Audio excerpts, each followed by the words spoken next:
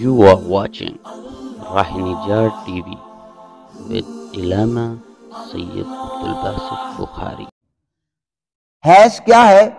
इसका ज़रा मैं डिफाइन कर रहा हूँ। जो खून रहम से वक्त मखसूस में, वसफ़ मखसूस के साथ खारिज हो, उसको हैज़ कहा जाता है।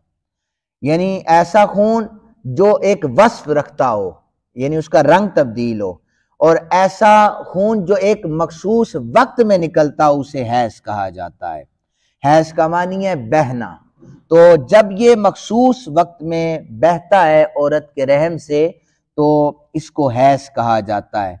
इस्तलाह में सिफत, ऐसी सिफत शरिया को हैस कहा जाता है, जो इन कामों के करने से माने हो, जिनके लिए हैस से पाक होना शर्त है, जैसे कुरान हकीम की तिलावत उसे छूना, नमाज़ पढ़ना और रोज़ा रखना, मस्जिद में दाखिल होना, अमल जोजियत करना, ये सारी चीज़ें हराम होती हैं। इस दौरान जो खून निकलता है, इसे हैज़ कहा जाता है।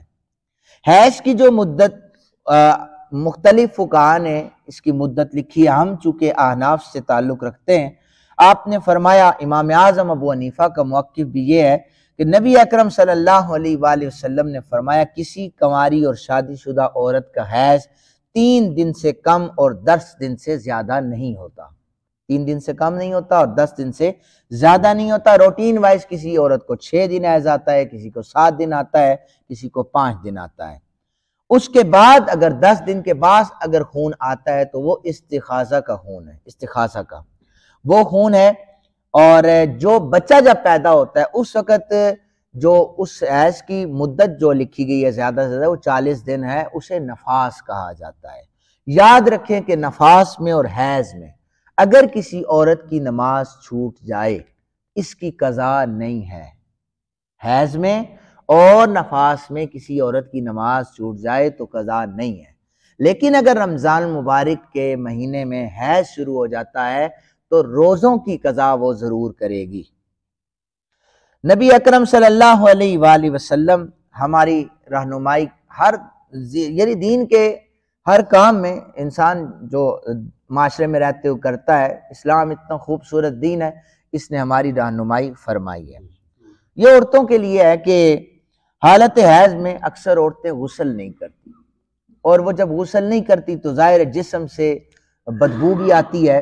समय लाना शुरू होती है तो इस्लाम ने वाज तौर पर कुरान पाक की आयत है इन लदीना युहिबुत्तवाबीन के बेशक अल्लाह ताला तोबा करने वालों को पसंद करता है वह युहिबुलमतताहिरीन और पाक रहने वालों को पसंद फरमाता है।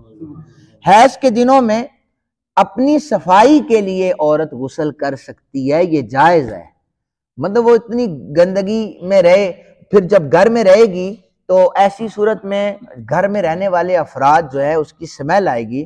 तो इसलिए कुरान ने वाज फरमाया कि इस दौरान जो पाकिज़ा रहो तुम्हें जिन चीज़ों से रोका गया है, उनसे रुको।